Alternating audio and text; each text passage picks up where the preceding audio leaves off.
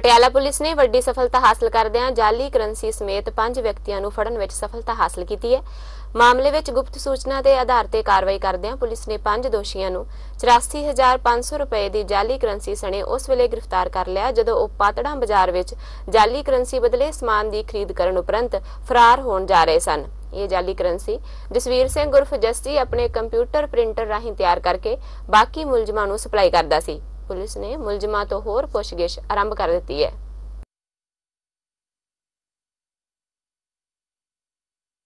ਇੱਥੇ ਸਾਨੂੰ ਪਹਿਲਾਂ ਵੀ ਇੱਕ ਵਾਰੀ ਸ਼ਿਕਾਇਤ ਆਈ ਵੀ ਕੋਈ ਬੰਦਾ ਜਾਲੀ ਨੋਟ ਚਲਾ ਕੇ ਜਾ ਰਿਹਾ ਬਾਜ਼ਾਰ 'ਚ। ਅਸੀਂ ਇਹ ਸਾਰੇ ਤੇ ਵਰਕਆਊਟ ਕੀਤਾ। ਅਸੀਂ ਐਫ ਆਈ ਆਰ ਨੰਬਰ 108 ਬਟਾ 17 ਦਰਜ ਕੀਤੀ। ਉਸ ਤੋਂ ਬਾਅਦ ਅਸੀਂ ਬੰਦੇ ਲੱਭੇ ਕਿਹੜੇ ਕਿਹੜੇ ਨੇ।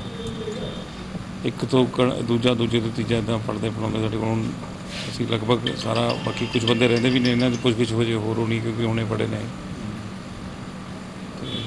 ਇਹਨਾਂ ਦਾ ਪ੍ਰਿੰਟਰ ਵਗੈਰਾ ਬਾਕੀ ਸਮਾਨ ਸਾਰਾ ਕੁਝ ਕਬਜ਼ੇ 'ਚ ਲੈ ਲਿਆ। ਤੇ 84500 ਰੁਪਇਆ ਹੁਣ ਤੱਕ ਰਿਕਵਰੀ ਹੋ ਚੁੱਕੀ ਹੈ।